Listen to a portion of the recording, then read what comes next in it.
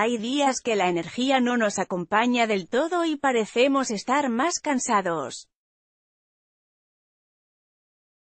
Pero hay quienes creen estar no solo un día, sino todos los días con síntomas de agotamiento. Y tal vez no estén del todo desacertados. Científicos británicos descubrieron que la genética podría generar una predisposición a la actividad física en algunas personas, mientras que en otras no. La investigación publicada en Nature, y desarrollada por el Instituto de Biodata de la Universidad de Oxford, relaciona, por ejemplo, el tiempo que permanecemos sentados, durmiendo o en movimiento con nuestros genes. Los expertos programaron y diseñaron una máquina de aprendizaje automático para diferenciar vidas sedentarias y activas y varios niveles intermedios en 200 voluntarios que llevaron durante dos días una cámara y una pulsera que registró su actividad cada 20 segundos.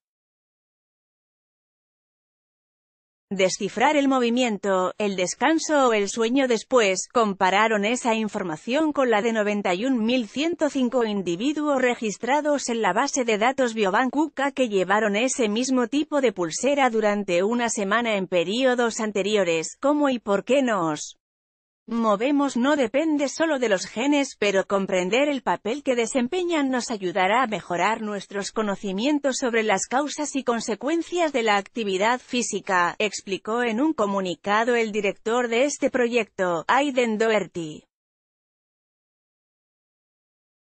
Solo a través del estudio de grandes cantidades de datos, destacó, se podrán descifrar los complejos fundamentos genéticos de algunas de las funciones más elementales, como el movimiento, el descanso o el sueño. Otros potenciales hallazgos en el mismo estudio los científicos observaron que, el aumento de la actividad física reduce espontáneamente la presión arterial.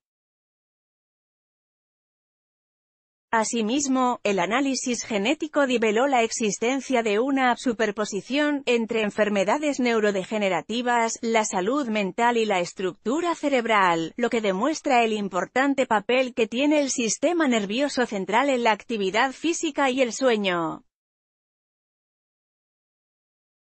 La inactividad física, según los expertos, es una amenaza para la salud pública global, con un amplio espectro de enfermedades asociadas al sedentarismo, como la obesidad, la diabetes o los problemas cardiovasculares.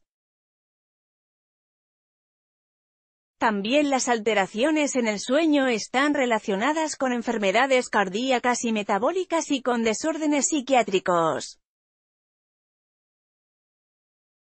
Lee también los trastornos de vejiga son vinculados al sedentarismo. Los expertos del estudio destacaron que el uso de la máquina de aprendizaje automático para analizar grandes cantidades de datos de salud está avanzando rápidamente y que condiciona el tipo de estudios que pueden desarrollar. Diseñamos estos modelos de aprendizaje automático para enseñar a las máquinas cómo analizar funciones complejas como la actividad, explicó Carl Smith Byrne, uno de los participantes participantes en este trabajo podrían ayudarnos, por ejemplo, a determinar si la inactividad es una causa o una consecuencia de la obesidad, agregó Michael Holmes, de la Fundación Británica del Corazón de la Universidad de Oxford.